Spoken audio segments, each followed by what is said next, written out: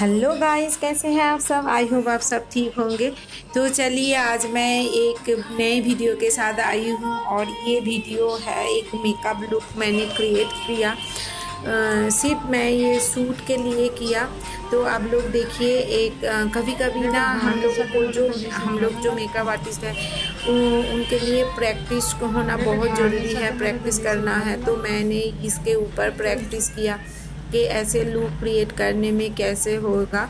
तो इसीलिए मैंने ये किया। जो लोग नए हैं, मुझे नहीं जानते, मैं हूँ अंजलि और इस चैनल है अंजलि टच मैं ऐसा वीडियो अपलोड करती हूँ मेकअप रिलेटेड और जो है parlour related ladies parlour related सब वीडियो मैं अपलोड करती हूँ। आप लोग मेरे साथ रहिए और देखते रहिए। पूरा वीडियो अच्छा लगे तो लाइक शेयर कीजिए। नए हो तो सब्सक्राइब करके रखिए। तो चलिए मैं पहले क्लीन से शुरू कर रही हूँ। आज मैं क्लीन से शुरू कर रही हूँ और यहाँ पे क्लीन करने के बाद मैं यहाँ पे टोनर अप्लाई कर रही हूँ। ये गुड वाइब्स का जो टीटी टोनर है, वो मैं अप्लाई कर रही हूँ। बहुत ही अच्छा है। तो आप लोग कर सकते हो इसको।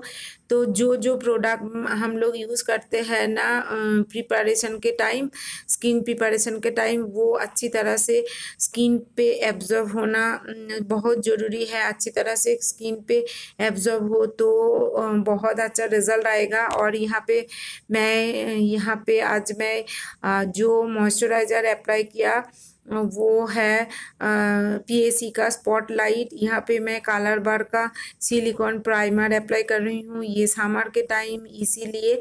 तो उसके बाद उसको भी मैं अच्छी तरह से एब्जॉर्ब करने दिया और उसके बाद मैं डार्मा से एक कलर लेके उसका जो स्किन टोन है उससे एक टोन मैं डार्क कलर लेके मैं पहले अप्लाई कर रही हूँ और उसके बाद इसका एक रीज़न है ऑक्सीडाइज नहीं होगा। एक सेट आप डार्क लगाओ तो। तो मैं आज ग्लॉसी इफ़ेक्ट देने के लिए यहाँ पे नाइका का मैं स्टोक क्रीम अप्लाई कर रही हूँ। जहाँ जहाँ हाईलाइट पॉइंट है वहाँ पे मैं अच्छी तरह से इसको अप्लाई कर रही हूँ। तो चलिए, आप लोग पूरा वीडियो इन तक देखते रहिए और अच्छा लगे तो लाइक कीजिएगा और ज़रूरतमंद के साथ आप लोग शेयर भी कर सकते हो। तो मैं यहाँ पे अभी फाउंडेशन अप्लाई कर रही हूँ। ये है न्यूली लॉन्च फाउंडेशन है। ये ये सीटा स्पॉटलाइट फाउंडेशन बहुत ही अच्छा है समर के लिए। ये वाटर बेस मतलब वाटर रेसिस्टेंट मेकअप करने के लिए आप ये यूज़ कर सकते हो। बहुत ही अच्छा आएगा। मतलब इसका रिज़ल्ट तो देखिए, अभी मैं दो कलर लिया। एक टोन डार्क और एक टोन फेयर दोनों को एक साथ मिक्स करके। उसका जो स्किन टोन है, उसका हिसाब से मैंने रेडी किया। और उसके बाद मैंने अप्लाई करके पहले देख लिया कि आया कि नहीं। आने मतलब ठीक ठाक है इसीलिए मैं अप्लाई किया और उसके बाद मैं अच्छी तरह से इसको ब्लेंड करूँगी। तो देखिए ब्लेंडिंग बहुत अच्छा होता है मतलब बहुत अच्छा करके आपको ब्लेंडिंग करना है। अच्छा ब्लेंडिंग हो तो मेकअप लुक बहुत ही अच्छा आता है। तो देखिए, इस तरह मैं एक एक साइड पहले अप्लाई किया और उसके बाद मैं दूसरी साइड अप्लाई करूँगी क्योंकि ये जो समर का जो मेकअप होता है ना, इसे ये फाउंडेशन थोड़ा सा मतलब ड्राई होता है। ड्राई मतलब फाउंडेशन ना सूख जाता है जल्दी जल्दी इसीलिए मैं एक एक करके जगह जैसे जिसके ऊपर मैंने लगाया, वहाँ पे मैं पहले अच्छी तरह से ब्लेंड किया, उसके बाद मैं दूसरी जगह लगाया। यहाँ पे मैं क्रीम हाईलाइट मतलब सॉरी क्रीम कॉन्टोर को मैं अप्लाई कर रही हूँ। क्रीम कॉन्टोर मैं इसीलिए लगा रही हूँ क्योंकि मेरा जो मेकअप लुक है, ये थोड़ा सा ग्लैम लुक दिखाना है।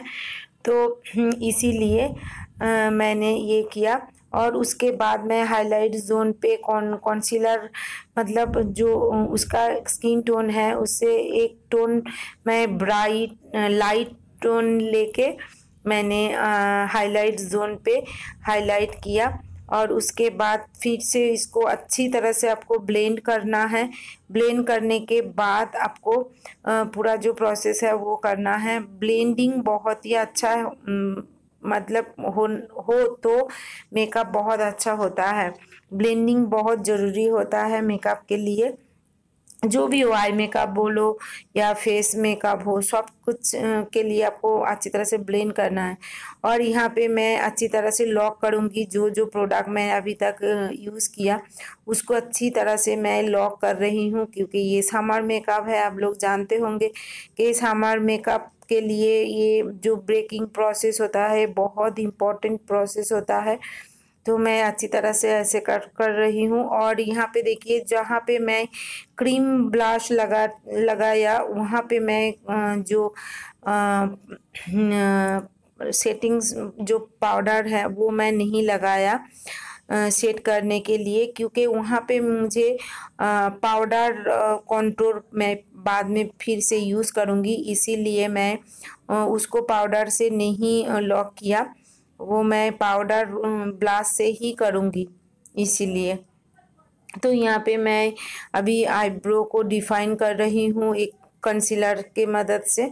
आ, और यहाँ पे मैं एक बात बोलना चाहती हूँ आज का जो मेरा मॉडल है इसको ना आईब्रो बनाना नहीं बनाया और फेस पे इसका जो फेशियल हेयर है बहुत ज़्यादा है। बट उस उस पे ही मैं अच्छी तरह से मेकअप किया और बहुत अच्छा लुक आया। कैमरे में कैसा आएगा मुझे पता नहीं। अभी देखिए आई मेकअप हो गया है। तो थोड़ा सा मैंने क्लिपिंग यहाँ पे ली। तो चलिए, यहाँ पे मैं अभी जो है आई मेकअप आज मैं यहाँ पे मैं कॉन्टूर कर रही हूँ क्रीम को। नहीं क्रीम मैंने पहले लगाया और यहाँ पे मैं अभी पाउडर से कर रही हूँ। आई मेकअप जो है, आज आज मैंने एक ब्लैक स्मोकी आई किया क्योंकि जो आउटफिट है, उसके हिसाब से मैंने किया। मुझे एक ग्लैम लुक दिखाना है तो इसीलिए और यहाँ पे मैं देखिए, अभी हाईलाइट को अप्लाई कर रही हूँ हाईलाइट जोन पे। बहुत अच्छी तरह से मैंने ये सब किया धीरे धीरे किया, क्योंकि देखिए ये जो मॉडल है सूट है, इसीलिए कभी कभी रियल क्लाइंट के ऊपर ना आपको इतना टाइम नहीं मिलता है। इसीलिए मॉडल के ऊपर आप मेकअप करो तो आपको अच्छी तरह से प्रैक्टिस होता है। कि कहाँ कहाँ क्या क्या अच्छी तरह से अप्लाई करना है। तो जो रियल क्लाइंट होता है ना, वो इतना ज़्यादा टाइम हम लोगों को नहीं देते हैं। तो यहाँ पे मैं हाईलाइट लगा रही हूँ हाईलाइटर ये बहुत ही अच्छी तरह से हल्के हाथों से इसको लगा के ब्लेंड कर रही हूँ। अब देखिए, जो जो प्रोडक्ट हम लोग अप्लाई करते हैं, उसको हाथ, अच्छी तरह से ब्लेंडिंग करना है। तो देखिए, इस तरह मैंने अच्छी तरह से ब्लेंड किया, पूरा जो जो मैंने प्रोडक्ट अप्लाई किया। यहाँ पे मुझे जो ब्लश है ना क्रीम पाउडर ब्लश कम दिख रहा था। मैंने उस, मैंने बाद में फिर से एक बार मैंने अप्लाई कर रही हूँ यहाँ पे। तो देखिए हेयर स्टाइल और ज्वेलरी ड्रेस पहनने के बाद हम आई हैं लिपस्टिक पे। लिपस्टिक मैं लास्ट में अप्लाई कर रही हूँ। ये जो ज्वेलरी आप देख रही है मोती का जो ज्वेलरी है, ये मैंने खुद बनाई है। घर मतलब शूट करने से पहले मैंने पूरा बनाया हम लोगों ने मिल के मेरा स्टाफ, मॉडल सब एक साथ मिल के हम लोग बनाया। तो देखिए this is final look hair मैं आज यूनिकॉर्न एक हेयर स्टाइल बनाया। और स्मोकी आई के साथ इस लुक कैसा आया, आप लोग ज़रूर कमेंट कीजिएगा। अच्छा लगे तो लाइक कीजिए। ओके बाय मिलती हूँ नेक्स्ट वीडियो में। तब तक के लिए टेक केयर आप खुद खुश रहिए।